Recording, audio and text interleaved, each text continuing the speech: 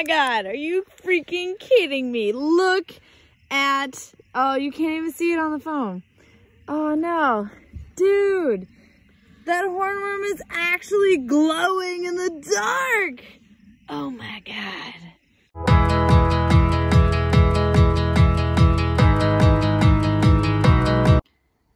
Welcome back to the True North Life. And as you guys saw in this intro, hornworms are nasty. They are the creepiest little creatures that you could ever find in your garden, in my opinion, as well as my mom. She totally believes that they're from sci-fi movies. And I'll give you a couple of pointers on how to make sure that you protect your garden, as well as keep those nasty hornworms from coming back next time. When you have hornworms in your garden, it's because a moth has dropped them off in your garden beds or the tomato hornworms can also be found on your pepper plants as well as tomato plants, other nightshade plants, nettles. So they can be found around your garden pretty regularly and it's kind of hard to be able to guess where they're going to come from. So you may even notice that if you have no tomatoes in your garden, you still have hornworms and that's why, because they prefer a variety of plants.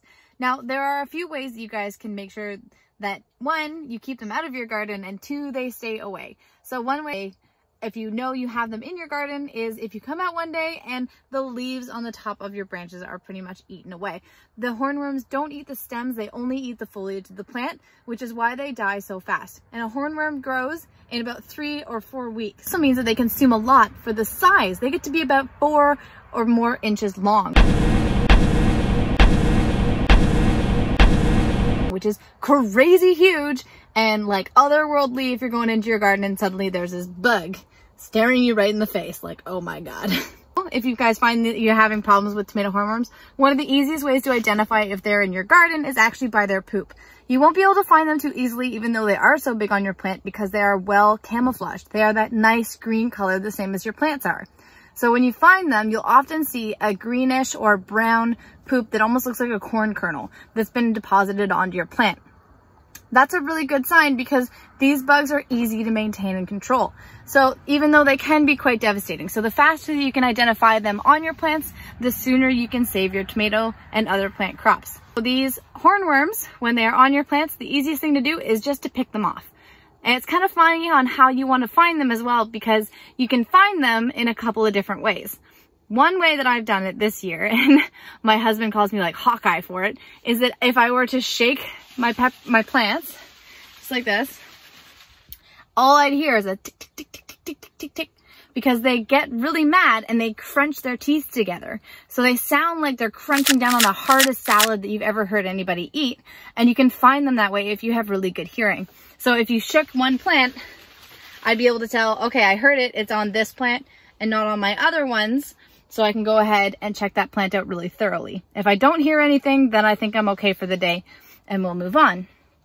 The other way to find them, which is the one that really freaks me out, which you saw in the intro of this video, is that they glow in the dark. You may not have been able to see it so well because the, the uh, black light doesn't show up so well on the camera, but it really does work. It's like the most freaky thing on the planet. So these guys yell at you when they're you're coming close to them. They grow really big. They glow in the dark. They have a horn on their butt and they turn into giant moths. If that isn't something out of a sci-fi movie, I really don't know what is.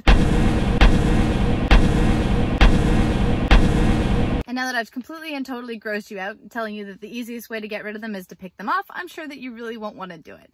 But if you guys just get a pair of tweezers like you can get from a pet store when you're trying to feed your reptiles, or if you have something that you've been using to feed your chickens or something like that as well on the farm, then you're that would be a really awesome option so you don't actually have to touch them with your hands because they can also kind of flail around because they've got lots of legs and that's kind of freaky. I don't like to touch them. I'd rather use the tongs.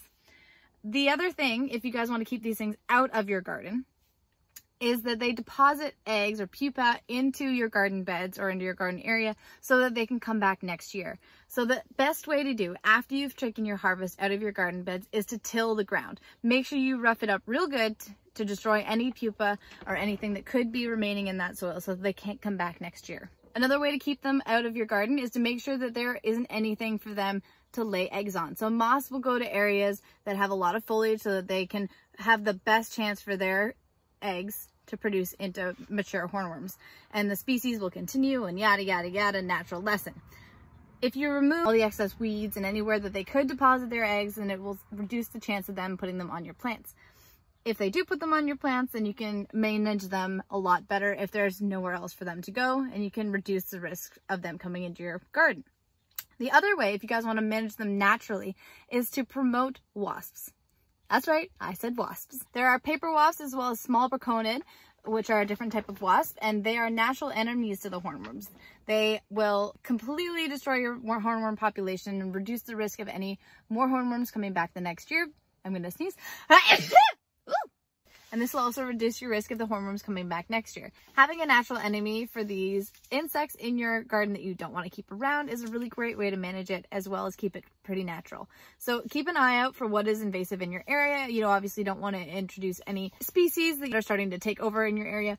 And, but if you are able to introduce these wasps to be able to manage your hornworm population, it was definitely something that I would recommend if another way to manage them is really just to pick them off. I wouldn't recommend any pesticides or any kind of chemical to be able to keep them off your plants. I would really, if you have a small garden, obviously this isn't a commercial solution, but if you have a small garden that you are able to walk and check your plants, in the springtime. So they are usually in your garden from the summer till the fall.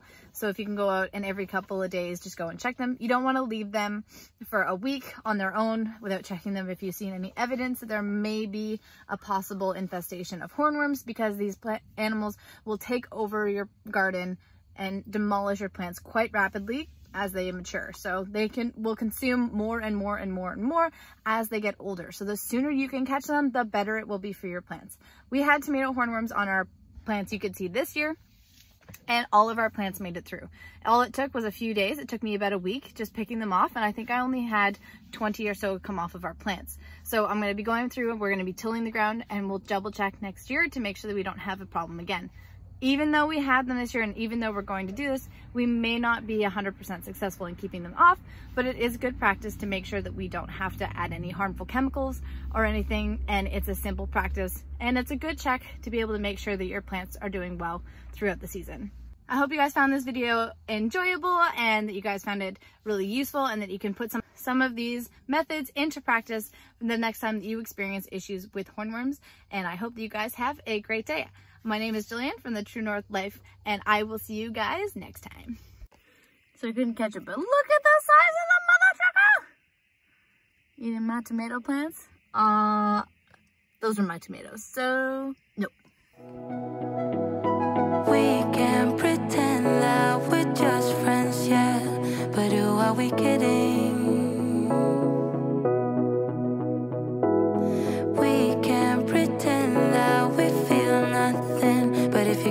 Am willing